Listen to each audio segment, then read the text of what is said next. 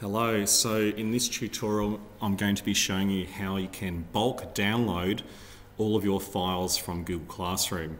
So we actually don't do this in Google Classroom. You see here that um, on my student test account I've got my student work, however if I go and try and download all these it doesn't allow me to download them all at the same time.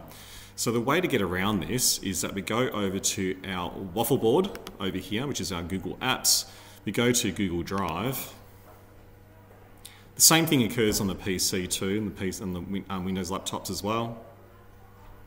Um, Mac uh, works slightly differently. Um, we'll turn that off.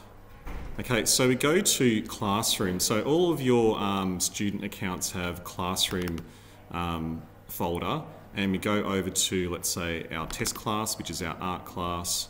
And here are all of our images that we have uploaded to our task. So what I can do is I can select this one at the bottom here or at the top. I scroll to the top and I press shift on the keyboard and I click once and it selects all those um, images. So all I need to do now is go to our um, single waffle for more actions and we click on download. Some of you might actually have a download icon there already, just click on that one. Right, so what is happening now is that on the Google servers, it is zipping it is compressing all the files into one file called a zip, a zip file. Um, it takes some time for this to happen. There we go, they're all zipped now and it's about to start downloading shortly. Here we go.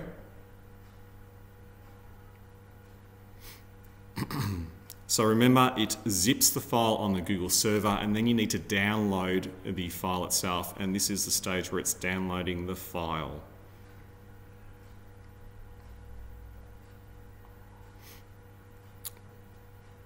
Just wait for that to keep on going.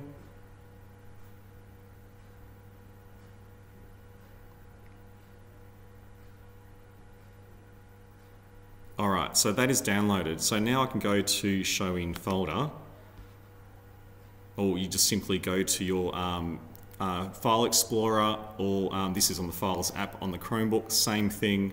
And this is that our zip file right now. So this file is huge, um, all you need to do now to use it on any other program, let's say you want to load up in a Photoshop, or if, let's say if you have some video footage and you want to use a video footage, you need to unzip the file. So you need to um, right click on the file. Um, if you can't right click with the mouse, you press, um, I think it was Alt click, and then you come up with these options.